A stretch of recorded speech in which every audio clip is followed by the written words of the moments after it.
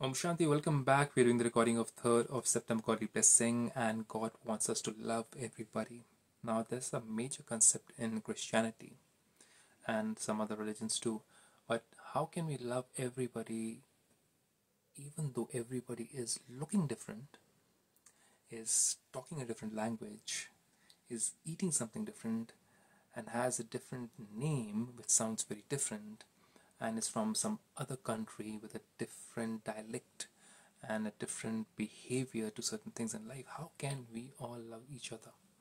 Now, that simply comes with the answer of spirituality, where God, our Supreme Creator, wants us to be so conscious about the soul, the spirit, the quantum energy, the field energy, the source energy within us. Even science is trying to come closer to that. That we forget this physical face, we forget the religion, we forget the caste, we forget the we forget ethnicity, we forget the language, we forget whether we are rich or poor, male, female, and coming down to atomic level. We forget everything. We forget the atom, we become soul conscious or Atma conscious. And that's where the new journey begins. When we move from atom conscious to Atma conscious, that's where the transition happens. That's where we start looking not at the atom with which your body and my body is made or construct of, but we start looking at the soul within the Atma, within the energy, within the quantum field, within the source energy within, which is even driving your body and my body right now. And I am the soul who's speaking to you with the help of this organ known as the mouth.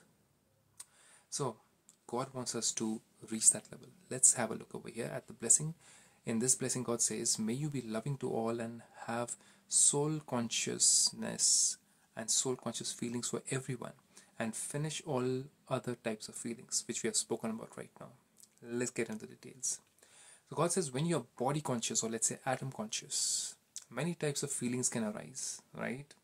Sometimes you will find someone good, and sometimes you will find someone not so good. You might see certain traits of some person, or we call it as sanskars in the spiritual language you might find that person having, let's say, jealousy towards somebody. You might have that person having anger or comparison or demeaning thoughts towards somebody else, and you might not like that person anymore, which you were liking that person a couple of days or months before.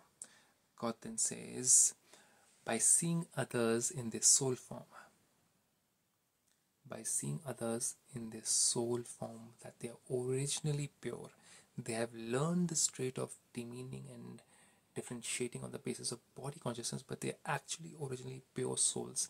When you look at their purity, look at their originality, which is like saying that you're looking through God's eyes, looking at them, then you'll have that change, remarkable change in your vision, and that will make you feel lighter and close to God.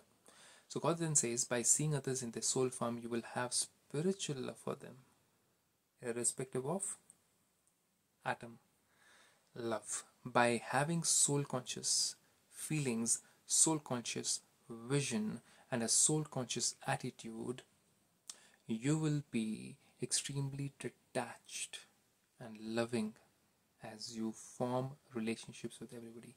Detached in the sense that when you are making relationships in the present Kali Yuga, or the present age, we generally make relationships when we want something in return. But here, detached means that you are able to love everybody without having the attachment of receiving something in return. That is true detachment.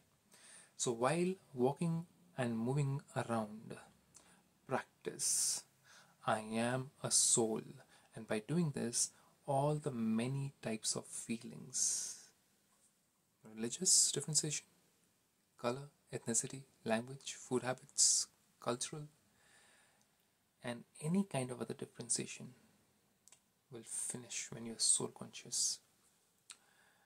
All the many types of feelings and nature will finish, and you will automatically be loved by all. That means when you don't have a differentiating, body conscious feeling towards somebody, they will feel that yes, they can feel love through you they can feel contentment through you they can feel same vision coming from you towards them as well as towards others irrespective of what they look think or are from how about living like this It's a beautiful way of living which we learn at Brahma Kumaris. Soul consciousness. Welcome to Soul Consciousness. With this, Om Shanti.